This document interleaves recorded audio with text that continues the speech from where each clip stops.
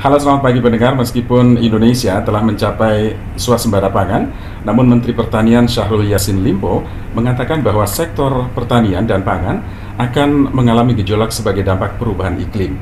Ya, sebagai dampak perubahan iklim, kemudian turbulensi ekonomi global pada tahun 2023 mendatang. Kemudian Presiden Joko Widodo bahkan kerap mengingatkan jajarannya untuk mengantisipasi krisis tersebut. Nah, bagaimana Kementerian Pertanian merespon ancaman krisis pangan yang berkali-kali disampaikan oleh Pak Presiden. Kami saat ini sudah bersama dengan Menteri Pertanian, Pak Syahrul Yassin Limpo, untuk ngopi bareng. Untuk ngopi bareng di kantornya, bincang santai seputar ketahanan pangan dalam Power Breakfast. Saya langsung sapa, Pak Menteri sudah ada di samping saya. Halo, selamat pagi. Assalamualaikum. Apa kabar Pak Karaeng? Waalaikumsalam, selamat pagi, salam sehat, salam sejahtera untuk kita semua. Amin. Pak Menteri terima kasih karena sudah meluangkan waktu bersama kami pagi ini untuk Power Breakfast. Ini program yang rutin Pak Menteri dan kami banyak mengulas sisi lain misalnya uh, keseharian Bapak ya, keseharian Bapak narasumber kami kali ini uh, mengawali kegiatan yang cukup padat tentunya Pak Menteri ya di Mm-hmm. kantor kementerian. Iya. Mungkin Pak Menteri bisa cerita mengawali hari-hari sebagai menteri mulai dari rumah. Suryo, bolehkah kita balik? Aku yang mau mencari kamu, kamu yang Kamu orang apa, Yo? Saya orang Jawa Pak. Jawa ya? Iya. Hmm, bagus banget ya. Hmm. Terus di Alsinta udah lama? Saya yang diinterogasi Pak Menteri sekarang. Oke sebelumnya boleh sapa netizen kami Pak Menteri ada di eh, YouTube, kemudian Ya. Facebook dan Instagram. Ya, saya Sahrul Yassin Limpo, temannya Suwiryo. Hari ini aku diminta untuk bicara apa aja, saya bilang jangan yang yang bikin susah saya. Jadi kalau wawancara itu bikin semua orang senang, termasuk yang diwawancara gitu yo. Iya iya. Karena kalau terlalu serius setiap hari mendapatkan beban yang luar biasa, ya saya kira kalau makin stres, makin tegang, apa saja kemungkinan kita makin sedikit bisa berbuat. Oleh karena itu, serius tetapi tetap gembira menjadi salah satu clue yang saya harap dari seluruh jajaran saya. Maaf yo, sepanjang ini sih saya selalu begitu, sangat harus kerja keras karena hanya dengan keringat sesuatu bisa kita capai dengan baik.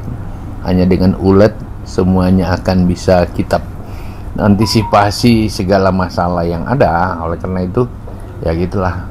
Serius, sangat-sangat kerja keras, tetapi tetap harus gembira gitu. Kira-kira gitulah yuk. Iya. Jadi, iya, Pak Menteri. oh jangan bikin saya tegang lah hari ini. Saya senang sekali karena pagi ini akhirnya waktu yang saya nantikan kesampaian bisa ketemu dengan Pak Menteri langsung. Nah Pak Menteri ini sosok yang memulai karirnya dari bawah sekali, mulai dari lurah. Nanti boleh koreksi Pak Menteri kalau tidak salah. Kemudian naik ke camat, kemudian bupati, gubernur dua kali periode, dan menteri. Presiden yang belum ya Pak ya? Oke, bisa cerita Pak, Pak Menteri? Yang saya koreksi saya camat dulu baru lurah. Camat dulu. Oh, Jadi gini, saya camat, kemudian saya PLT lurah, saya pernah PLT kepala desa. Pelaksana tugas. Kenapa bisa pelaksana tugas? Karena kepala desa saya saya porsir kerja kemudian jatuh dari motor dan dia harus berada di rumah sakit.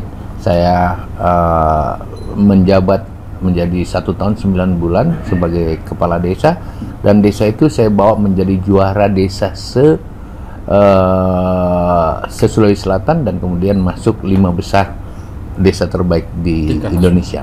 wow. Kemudian hal yang sama, saya menjadi camat, kemudian lurah saya namanya Mulyadi meninggal dunia dan saya jabat sebagai PLT lurah dan kelurahan saya masuk juara kelurahan se-Sulawesi Selatan terbaik. Saya camat 4 tahun 6 bulan dan saya camat toladan di Indonesia. Kemudian saya pernah sekwilda. Dan Sekwilda ya, nggak nggak gampang jadi sekwilda itu dapurnya semuanya ya. Sekjen sekretaris itulah dapur. Saya pernah sekwilda dua tahun lebih. Saya bupat kepala daerah 25 tahun. 10 tahun jadi bupati 5 tahun jadi wagub 10 tahun jadi gubernur dan saya pernah ketua asosiasi gubernur seluruh Indonesia. Iya. saya wakil ketua atau ketua harian ketuanya seluruh bupati wali kota se-Indonesia. Dan ya I am happy karena paling tidak saya mendirikan asosiasi itu. Uh, saya waktu saya bupati saya adalah bagian yang merubah undang-undang nomor di pemerintahan yang otonom inisiasi.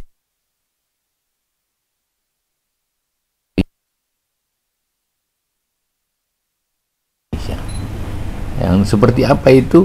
Ya kekuatan sebuah bangsa ada seperti apa? Semua kabupaten kuat. Dan mungkin saja orang di pusat banyak nggak ngerti seperti apa yang ada di daerah local government local problem must be respond by local respond. Yang paling ngerti politik yang ada di daerah ya orang daerah lah. Yang paling ngerti potensi ekonomi yang harus dikembangkan daerah. Oleh karena itu pemerintah pusat harus menjadi steering dari sebuah konsepsi dan program tapi organizing harus di tingkat daerah. Dan itu kenapa otonomi ada negara Indonesia adalah negara keempat terbesar dunia 273 juta orang dengan berbagai latar belakang berbagai suku bahasanya beda-beda agamanya juga saling oleh karena itu pemerintahan harus bisa responsif kan?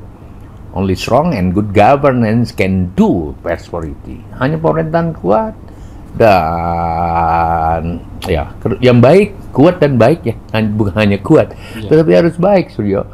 Yang bisa min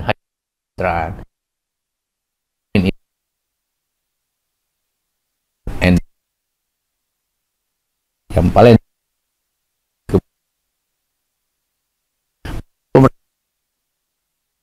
tentu saja kenal sebagai sebuah bangsa.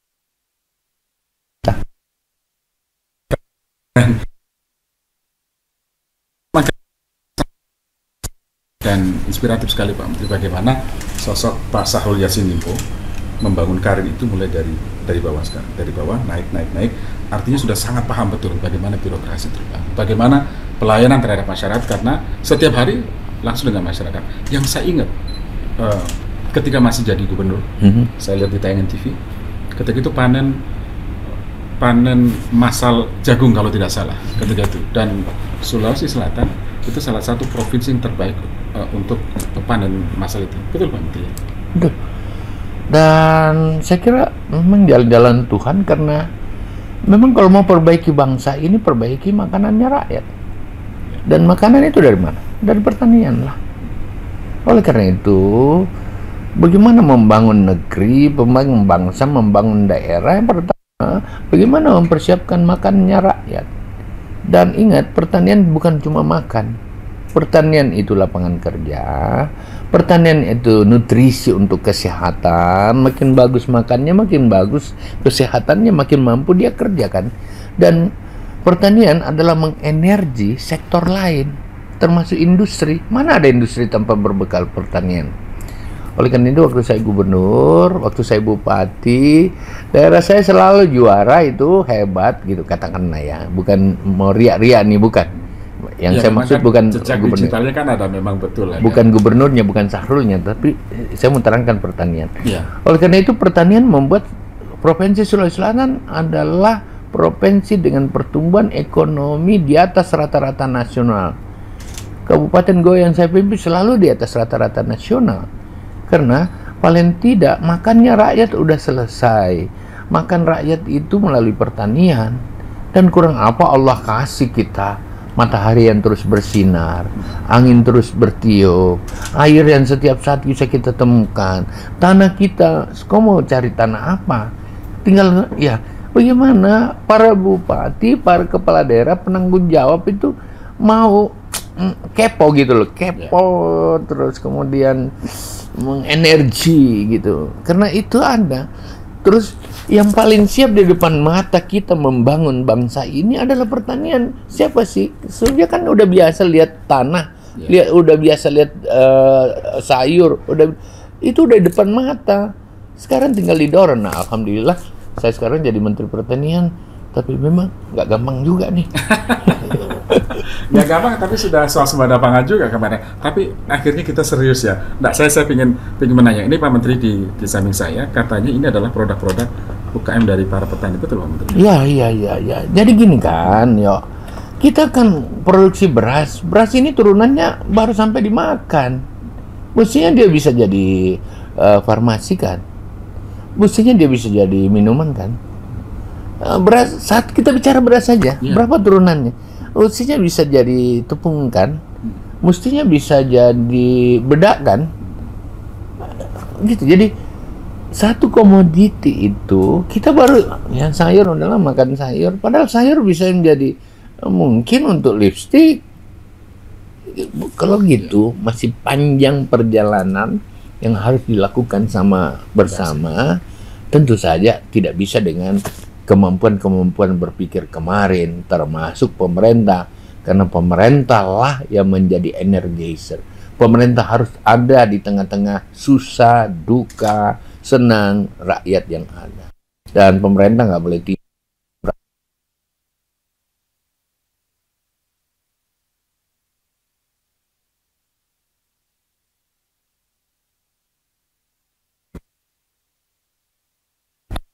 Ya persoalan aku nggak biasa sarapan Nggak pagi. bisa sarapan pagi Pak? Enggak. Jadi kalau pagi apa Pak? Minum kopi? Iya, pasti kopi lah, pasti ngo- ngopi. Jadi sekarang kita ngopi dong Pak Menteri. Iya. Kebetulan kan ada kopi. Ya, iya, iya. Oke, kita ngopi dulu ya teman-teman. Mudah-mudahan kopinya sesuai karena saya tukang minum kopi jadi. oh iya, oh maaf Pak Menteri. Mike Wayne kurang kurang tenaganya, suka turun-turun lah Mike. Iya, oke. eh, pendengar tadi sudah sedikit kita mengenal sosok Pak Menteri, bagaimana me- membangun etos kerjanya, bagaimana memotivasi anak buahnya, ya jajarannya, untuk me- memberikan yang terbaik pelayanan kepada masyarakat. Tentu saja di bidang pertanian tadi sudah dijelaskan Pak Menteri, bagaimana eh, me- mengedukasi masyarakat apa yang ada di depan kita, itulah yang bisa kita lakukan. Kita banyak berbuat, tapi tentu masih banyak PR yang terus dikembangkan oleh Kementerian Pertanian tadi Pak Menteri sudah menyinggung dari satu komoditas saja beras misalnya sebetulnya itu bisa dikembangkan dengan berbagai produk lain. Pak Menteri tadi saya dijelaskan oleh staf Pak Menteri di sini ternyata ada tepung. Ini adalah tepung sorghum. Betul Pak Menteri? Iya, iya. Ini tepung sorghum yang kita kenal sekarang kalau nggak salah sedang di, dibudidayakan terus ya Pak Menteri sebagai alternatif eh, gandum ya Pak Menteri. Betul ya? Silakan Menteri. ini saja sudah satu sesi nih. Enggak, sorghum itu tanaman nenek moyang yang kemudian karena IMF, karena macam-macam, akhirnya hilang ini. Ya, harus kita kembalikan karena itu tanaman kita. Tanaman negara tropis. Tanaman di negara daerah yang kurang air, tanaman yang di daerah berbatu-batu, sorghum bisa hidup. Nah, kita mau instan dengan beras, padahal ini nutrisinya juga lebih bagus, vitaminnya lebih banyak. dari sorghum ya. Iya. Kemudian sorghum kalau kita tanam lebih murah. Kenapa? Dia tidak butuhkan bibit hanya 50% dari bibit padi. Jagung. Dia 5% pakai pupuk. Karena tanpa dipupuk dia hidup itu. Kalau mau lebih banyak produksinya kasih pupuk. Kalau nggak dia, dia hidup aja. Dia cuma dilempar-lempar juga bisa hidup. Katakanlah bahasa gampang saya Jadi gitu. mana aja bisa hidup. Bisa. Dan itu kenapa? Terus kenapa kita harus ganti dengan gandum? Kan ternyata bisa jadi terigu. Bahkan batangnya itu bisa jadi gula. Batang sorghum Iya. yang seperti jagung itu. Iya, batangnya itu bisa jadi gula. Kemudian daunnya bisa jadi makanan Ternak. eh, ternak. Nah, ini semua hilang karena kita ngerasa udahlah ganti gandum. Gandum lebih murah, ngambilnya dari luar. Ya, tapi kan yang dapat uangnya orang Amerika, orang Brasil, orang mana-mana. Gitu. Ya. Gandum kelebihan, tapi kemudian kalau dia jadi itu nih sekarang kita eh, goreng pisang aja pakai gandum. Kan gitu. Iya. Tempe gorengnya pakai gandum. Kenapa? Gandum lebih gampang. Perkembangannya lebih bagus. Tetapi kemudian kalau nanti sorted misalnya. Sekarang masih murah, tapi kan namanya harga bisa naik turun. Iya. Apalagi peran ya Pak. Eh, sekarang kita udah rasakan. Kemarin harga sorghum hanya 4.000. Sekarang di luar saja har- harganya sudah 10.000 lebih. Nah sekarang kita mau kalau kita mau beli dari luar 10.000 ribu, kita mau jual berapa di sini? 14.000 ribu. Karena kan ada ongkos kirim, ada yang mau dagang segala macam. Nah sekarang harga tempe tahu jadi berapa? Gitu loh. Sama dengan kedelai. Oleh karena itu sorghum bisa jadi nasi, nasi goreng sorghum pernah rasa ya? Belum, belum. Jauh lebih enak lah. Mau makan dengan, dengan Saya, bu. saya makan sorghumnya itu masih dalam bentuk apa? eh, belum olahan tepung dan lain sebagainya. Iya itu ada sorghum semua bisa. Jadi apa yang bisa dibuat dari oleh gandum, sorghum pun Sorghum bisa. juga bisa. Singkong juga Gizinya seperti juga itu. Singkong juga seperti itu. Pisang pun seperti itu. Eh, sagu seperti itu. Sekarang ini bayangin agak ekstrim nih saya berpikirnya. Kalau toh beras agak susah, kalaupun gandum agak susah, tebang semua itu pohon sagu. Sagu harus bisa bertahan sampai 2 tahun rakyat ini tidak apa-apa. Udah ada di pikiran saya seperti Maaf ini baru pertama kali saya ngomong di sini. Tapi kan kita punya 5 juta pohon yang tinggal ditebang, given Allah. Sekarang tinggal cari industrinya karena udah lima tahun, 10 tahun, 20 tahun tidak pernah ditebang. Ini kayu so- sagunya itu ya sagu ya. Itu sudah membatu artinya sudah menjadi kayu. Tinggal butuh mesin yang berbeda dengan yang ten- tentu gitu. Mengolah itu ya. Tapi makan sagu kan kau bisa makan apa? Bikin apa? Nasinya juga enak dan lain-lain sebagainya. Ya Pak Menteri, apakah itu masuk dalam program prioritas Kementerian Pertanian? Sorghum dan sebagainya. Ya di dalam rangka menghadapi kondisi climate change dan suasana yang sangat-sangat uh, unpredictable, unlinear, uncontinuous dari tantangan global, kita harus bisa memikirkan hal-hal ya katakanlah diskresi atau extraordinary dari apa yang biasanya ada. Ya, kau terlalu serius nih. Kamu nanya yang lain dong. Nanti orang pada lari nih. Oke Pak Menteri, kalau gitu kita jeda sejenak, nanti kita lanjut Pak Menteri ya. Oke. Baik, pendengar, eh, Paul Berdua akan kembali lagi bersama Menteri Pertanian Pak Syahrul Yassin Limpo. Tetaplah bersama kami. Yang tumbuh 16,24 hanya pertanian. Yang lain merah. Misalnya seperti itu. Yang kedua, ekspor kita ternyata di dan COVID dia naik lebih. Tidak pernah zaman Orde Baru pun tidak pernah di atas 15 persen. Datanya ada di situ misalnya. Dia naik 38 persen. 625 triliun tuh. Berarti pertanian kita sangat-sangat oke untuk kita tekuni sama-sama. Bahkan beras pun saya persiapkan sampai 2 tahun. Coba lihat berasnya. Ini pada saat kita kan selama ini impor semua. Iya. Pernah 7 juta, 2 juta ton setiap tahun. Saya tiga tahun enggak, oh saya impor. Ternyata kita overstock. Ini ini sekarang ini pada saat IRI memberikan penghargaan pada Bapak Presiden Iya. sebagai eh, eh, presiden atau negara yang memiliki resiliensi dan ketahanan food security yang kuat itu itu kita 10,2 juta ton overstocknya. Nah, kenapa beras? Karena kita ter, udah terbiasa beras. Ya, nanti saya mau jawab ke sana ini. Kenapa kalau alternatifnya kalau ada distorsi beras? Tetapi beras ini kita persiapkan kenapa? Nutrisi yang paling lengkap itu beras walaupun bikin gemuk. Bisa diabetes. Itu, ya kan? Tetapi makan beras aja tidak pakai lauk, campur-campur garam sedikit sudah selesai nih. Ya kau nggak perlu dengan tambahan. Tetapi kan kalau kemudian dunia ini bersoal, beras itu butuhkan air, butuhkan macam-macam. Kita lari aja ke bahan dasar kita. Kita lagi ke sorghum yuk. Kita lari ke sagu kita. Singkong kan nggak butuh air.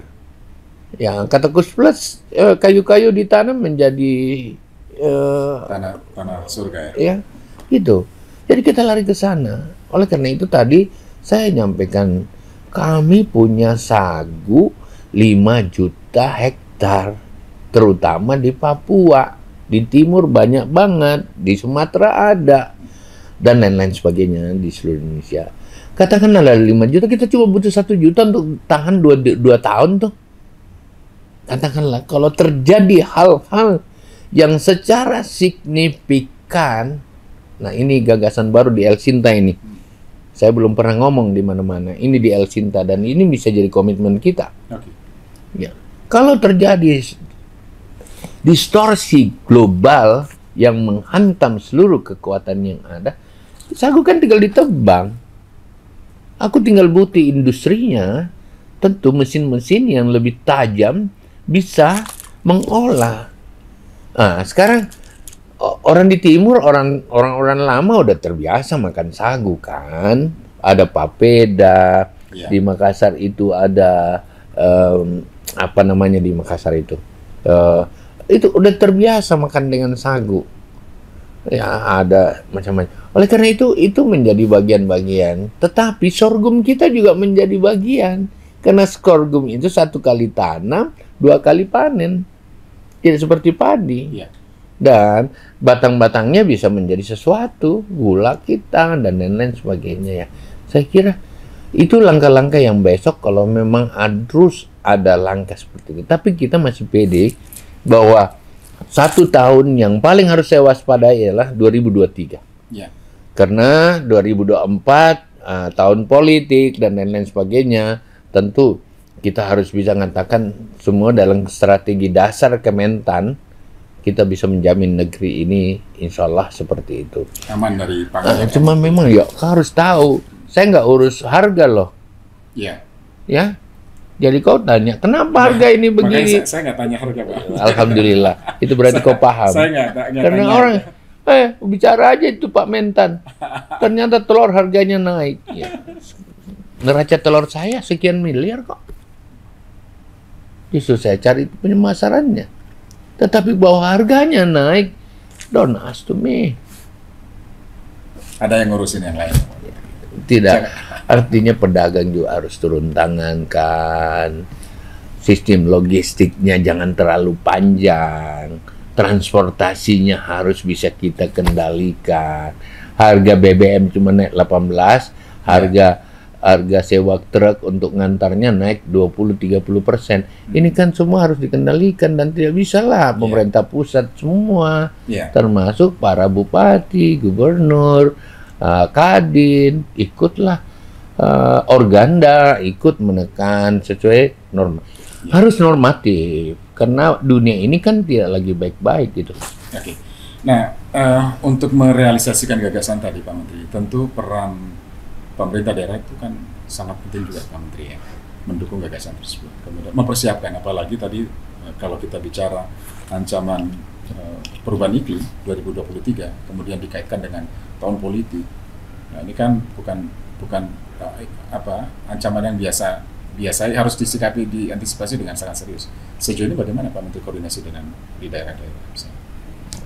Saya ingin masuk dengan sedikit apa yang saya pikirkan dan terkonsepsi sekarang di Kementan. Yang belum maksimal dan kekuatan yang belum kita dorong yang kuat itu adalah membangun kolaborasi dan network.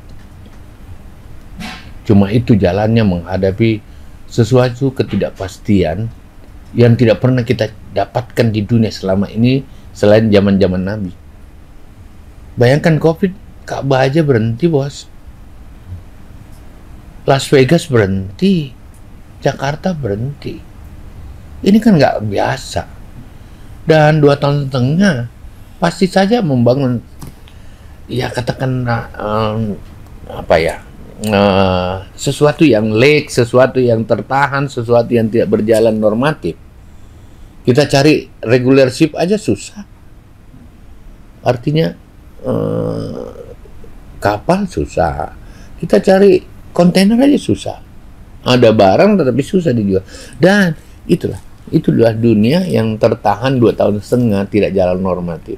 Akibatnya kan baru kita rasakan sekarang. Terus kemudian tiba-tiba ada climate change. Cuaca lagi buruk banget.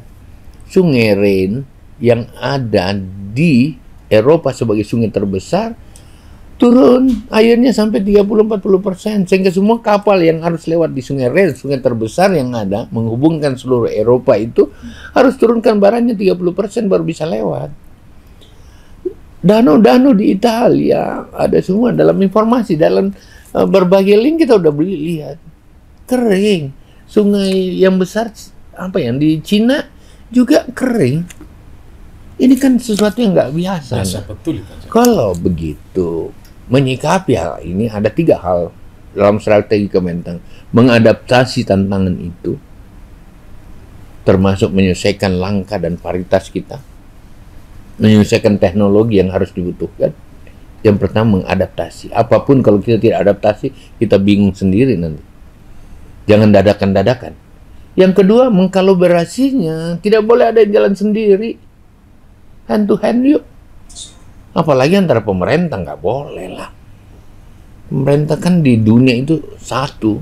Jangankan dalam satu negara. Ini dari pemerintahan. Di dunia satu. Tugasnya apa? Mengurus kesejahteraan dan ketentraman kedamaian keteraturan seluruh orang yang ada di termasuk warga negara asing dalam satu negara. Ini teori pemerintahan. Kalau begitu kolaborasi menjadi penting.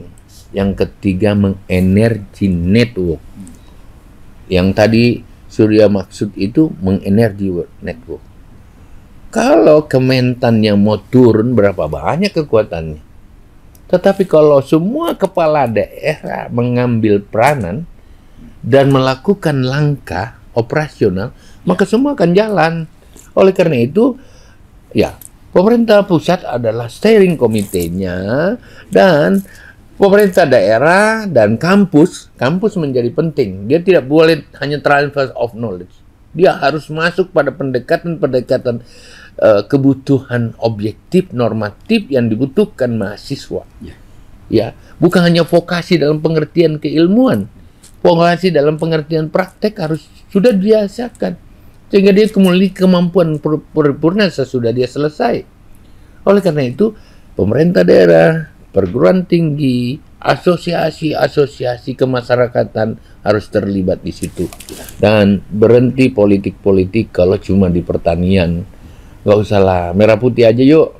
Biar kita jalan sama-sama kepentingan negara. Nah kalau sudah bagus-bagus ekonomi kita dan lain-lain. Ya politik bolehlah kita main-main dikit. Okay. tetapi kalau kita belum apa-apa sudah berpolitik lebih dulu nah itu jadi persoalan. Maaf ini kalau saya agak singgung. Ini dikat aja yang itu ya.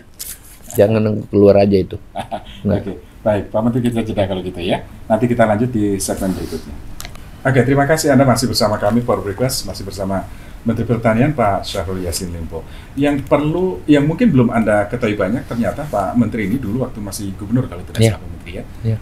Beliau juga mensupport El Sinta yang di di Makassar. Di Makassar. Yeah. Ceritanya gimana Pak Menteri? Hmm, saya ya, saya butuh banyak media kan. Oleh karena itu beberapa teman itu waktu ada teman-teman dari RCTI yang saya ingat saya hmm. Pak Uceng itu tarik itu Alsinta uh, ya biar ya reportasinya dari sini itulah awalnya sampai sekarang masih eksis Pak? masih iya masih oke okay. dan foto-foto saya ada di situ Terima kasih. Yang kedua saya pernah ke El Sinta waktu gubernur wawancara masalah apalah gitu. Sekarang uh, Pak Menteri uh, di sini belum ke El Sinta yang Jakarta yang pusat. Saya mau tapi saya mau menyiar. Boleh Pak Menteri? Baga, baga satu host. Satu acara mata acara. Iya, mata acara di mana bisa interaktif, nyanyi-nyanyi. misalnya. uh, Tapi kalau ngomong soal nyanyi, apa sih lagu yang paling disukai, paling favorit Pak Menteri? Hmm, hobi menyanyi, saya cuma karena lima kali ikut pilkada. Lima kali aku pilkada. Lima kali nyanyi juga. Ya, di pilkada itu kan harus seperti itu. Dan saya bahkan selama menjadi menteri ini kalau ada sesuatu yang saya mau bicara agak serius saya ajak dulu orang nyanyi tentang uh, Indonesia Pusaka. Indonesia Pusaka. Ya artinya apa pun yang kita lakukan ini ujung-ujungnya adalah untuk kepentingan bangsa negara untuk kepentingan kita semua. Indonesia Pusaka itu mewakili suara itu gitu loh untuk saya. Nah gitu. Jadi uh, akhirnya saya bisa nyanyi gitu. nyanyi nyanyi ya sebatas-batas nyanyi anu lah. Saya dengar suka lagu slang juga Pak Menteri. Oh kalau slang aku suka banget. Aku itu suka yang teriak.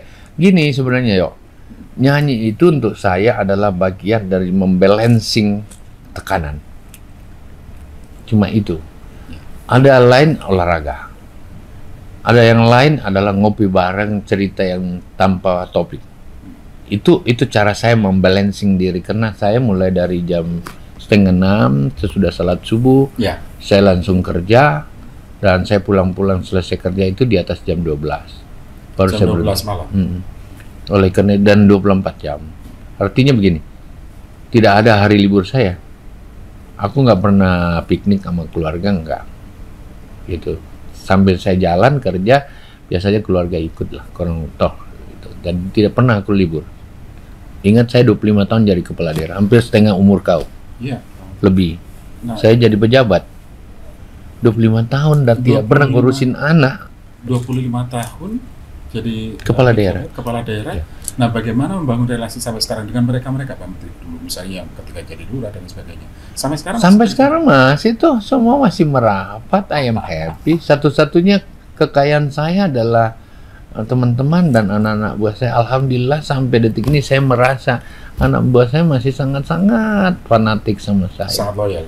iya Bagaimana sih Pak membangun loyalitas di antara jajaran yang pertama jangan bohongin nalarmu. Akal sehat menjadi sangat penting karena nalarmu berhubungan dengan hatimu. Dan hatimu yang tulus ikhlas itulah sebenarnya uh, apa yang sebenarnya dari jati dirimu. Kalau kau bohongin nalarmu kau bohongi hatimu sebenarnya kau menggadaikan harga diri dan gengsimu. Dan pada saat itu teman-temanmu hanya kau tipu aja. Dan siapa yang suka bohong siapa yang suka nipu orang dia akan diperlakukan alam juga seperti itu Hukum alam berlaku di situ.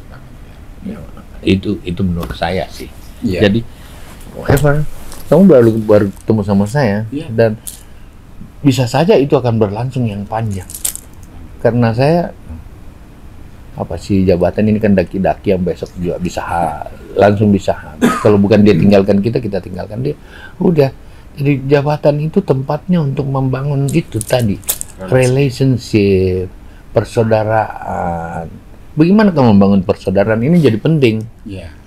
masih ada keker di antara saya dengan Suryo. Kalau kau perhatikan saya, kau memberi ruang sama saya, kau mewawancara, itu bagian dari persaudaraan. Bentuk-bentuk persaudaraan ya, ya kita bisa sharing nggak ilmu saya, saya kasih sama kamu, apa yang baik sama saya, kau bisa memanfaatkan, apa yang baik sama ya. Dan ketiga, ya tidak ada putih-putih di antara kita. Putih-putih itu tipu-tipu. Be fairness. Kalau itu hadir, hadirlah persaudaraan seumur hidup. Aku nggak bisa bagikan kau uang karena mungkin saya juga pun nggak punya uang yang. Tetapi yang kau bisa pastikan, I am still your bro. I am still your bro. Itu eh, membangun relationship yang sudah lama Pak Menteri lakukan sampai saat ini. Iya, seperti saya aja ada yang masih dari zaman saya Sekwilda. Seandainya Sampai masih, iya. Saya saya nggak pernah ganti-ganti yang banyak. Pejabat saya rata-rata saya nggak ganti sampai akhir. Kalau dia jelek berarti saya jelek. Sering melakukan pertemuan Pak misalnya dalam satu momen kumpul-kumpul dengan mereka yang di Makassar. Mereka udah tahu kalau saya datang pasti eh, hari eh, Sabtu, Minggu di mana saja saya jalan. Saya nggak perlu protokoler. Pasti dia tahu pasti saya suka ke warung kopi. Semua udah tahu kalau hari itu dia tinggal tahu di mana dia ngomong kopi? Dan biasanya saya kopinya juga pindah-pindah gitu. Nah gitu. Jadi eh ya saya boleh beda partai dengan siapa saja tetapi warung kopi kan nggak ada partai. Kita bicara aja. Kadang-kadang yang bicaranya juga tanpa tanpa framing gitu. Oke, ini soal uh, satu lagi Pak, Pak Menteri barangkali bisa ditanggapi soal uh, para peternak Pak Menteri kan kita sebetulnya sudah sudah cukup mapan ya kalau stok uh, tadi sudah disampaikan Pak Menteri Pangan dan sebagainya. Dari uh, ternak unggas dan sebagainya kita juga sudah berlimpah ya harganya juga cukup stabil. Tapi masih ada uh, mereka para peternak yang mengaku dari kelompok uh, mandiri misalnya sampai sekarang masih demo dan lain sebagainya. Nah, bagaimana Pak Menteri eh, me- merangkul juga mereka Pak Menteri? Atau paling tidak apa sih yang bisa dilakukan untuk mereka bisa sejahtera? ya kompleksitas tugas fungsi dan peranan pemerintah kemudian dinamika pemerintahan nggak pernah bisa berhenti nggak tidak ada pemerintah yang bisa memuaskan rakyatnya nggak ada oleh karena itu pemerintah nggak boleh berhenti dari satu tahap ke satu tahap Kalau 5 km kita sudah perbaiki, terbuka 10 km yang belum. Di peternakan juga seperti itu. Sekarang pilihannya adalah kita mau meladeni kepentingan peternakan agar eh, sorted atau kekurangan di peternakan itu atau kekurangan nutrisi hewani kita tersedia. Atau kita hanya mau lihat satu segmen ke satu segmen aja. Berapa yang merasa Iya. ya. Berapa yang merasa? Kan nggak mungkin bisa ke semuanya. Tetapi tidak berarti itu harus ditinggalkan harus diperhatikan lagi. Apa nih apa nih? Mungkin juga pemerintah yang salah dan bagi saya enggak. Semua harus perhatikan rakyat. Dan memang saya berharap sih para pejabat saya adik-adik saya semua di bawah saya itu lebih mentingkan rakyat kecil daripada yang besar-besar itu. Memang itu petunjuk saya. Tetapi kan nggak mungkin juga kalau semuanya dengan ya case by case mestinya ya. Mungkin ada masalah di satu wilayah yang ada, tetapi tidak seluruh Indonesia. Iya. Nggak bisa mewakili semua, tetapi ada yang juga tukang demo dirayu berkali-kali dan lain-lain bukan bukan mau menyelesaikan masalah. Lebih banyak dia mau demo gitu loh. Ada juga seperti itu dan menurut saya ya hadapi jangan mundur. Yang kedua, kalau bisa kita tinggal, kau mau apa sih? Apa di tangan saya? Pikirkan dirimu, jangan lo, oh ini salah di sini, ah, terlalu jauh kau pikir dirimu apa? Kau butuh modal, Hah? kau marketnya bersoal, kamu kamu sendiri yang gimana? Ini kadang-kadang cuman apa ya sebuah retorika yang terlalu jauh. Nah kalau seperti itu saya nyerah itu Saryo saya nyerah. Tetapi kalau dia mau datang sama saya dengan baik-baik bicara, apa nih, di mana masalahmu? Kau punya masalah sendiri. Jangan pikirin orang lain dulu. Nah, karena pikiran nasional tentu ada hitung-hitungan kita. Jadi sinerginya itu ada ya Pak Menteri lebih jelas lebih konkret. Harus lebih konkret itu dong. ya. Dan tidak bisa. Sekarang ini saya masuk pada bukan sebuah konsepsi yang makro. Saya sudah mulai detail konsepsi lebih lebih ke case by case, lebih ke sana sesuai juga perintah Bapak Presiden. Sehingga kita ngambil keputusannya juga pada aspek Excel yang detail, jangan makro terus. Kalau makro terus, yang detail tadi yang kamu bilang itu Suryo nggak belum masuk. Nah, oleh karena itu yang di mana wilayahnya? Jadi tinggal kita ya tentu melokalisasi kompleksitas yang besar. Nggak mungkin di oh jangan seluruh mungkin di sini oke tapi nggak oke di Papua. Mungkin di Papua oke tapi nggak oke di Aceh. Iya. Nah, dan itu tugas Kementan lah gitu. Ya, mudah-mudahan juga semua dengan niat baik kita bisa selesaikan semua masalah. Terakhir Pak Menteri, mungkin bisa menyapa pendengar kita atau juga yang netizen ya Pak Menteri ya. Hmm. Mungkin karena meng- mengingatkan kembali krisis pangan apa yang harus kita lakukan. Satu menit saja Pak Menteri. Alsintan itu hebat sekali di mata saya sih. Maafkan saya. Alsintan harus jadi besar. Kenapa? Alsintan bisa memberi informasi dan pencerahan, memberi motivasi yang sangat besar, walaupun kau di atas pohon, walaupun kamu sambil menyelam, walaupun kau di atas angkasa. Kenapa? Dia tidak perlu sarana yang secara khusus. Kalau melihat televisi kan kita harus cari tempat. Tapi kalau dengan radio, karena dia bentuk dari frekuensi, kita bisa bicara di mana aja, bisa dengar di mana aja. Oleh karena itu Alsintan nggak boleh mundur. Alsintan harus lebih diperkuat. Alsintan harus menjadi mata, telinga, dan mulut negara, bangsa, dan mulut rakyat. Apa yang terstuck di masyarakat Alcinta harus teriakin dong. Dan saya kira saya mengapresiasi dan saya makin yakin Alcintan besok makin dibutuhkan. Salah itu kalau bilang ada kecanggihan kemudian kita tidak butuhkan radio. Nah, cuman memang ini membutuhkan daya tahan yang kuat dan supporting sistem yang baik. Saya kira semua negara juga melakukan hal yang sama. Pak Menteri terima kasih atas waktunya yang luar biasa. Salah nggak gue ngomong kayak gini? Nah, nah itu support buat kami juga Pak Menteri ya. Oke, terima kasih. Pendengar, Ada satu hal sebelum gua tutup. baik. Siapa suruh kau wawancara saya? saya kalau jalan dari rumah ke kantor itu saya dengar Alsintan loh. iya Pak. Terima kasih. Berarti dengar suaranya Pak Menteri dong. Ah, belum ten, Ah, belum ada- pernah. Ada pernah dengar eh, apa? Ada imbauan ya iklanannya masyarakat. Kan waktunya sempit banget. Oh iya iya. Waktunya sempit banget. Tapi hampir hampir. Apalagi kalau saya pakai mobil yang tidak pakai eh, berita, televisi saya masih lari ke Lexington. Mulai dari saya gubernur. Jadi ini, ini bukan service lips. I'm really to say that. Oke, thanks. Ya, oke. Saya kira see you. Saya, saya saya nunggu eh, Pak Menteri bisa ber- berkunjung ke studio kami. Betul, Jadi kita bisa siaran bareng nanti di. Siaran bareng tapi interaktif. Oke. Saya mau kita bicara dan yang ringan-ringan, jangan serius lagi. Iya, iya. Oke, baik. Pak Menteri, saya lagi terima kasih. Sehat selalu dan sukses, Pak Menteri ya. Dan mereka terima kasih Anda bersama kami. Baru saja kita eh, simak bersama wawancara dalam Power Request bersama Menteri Pertanian Jam tadi bicara. Syahrul, Syahrul Yassin Limpo. Saya Suryo, sampai jumpa.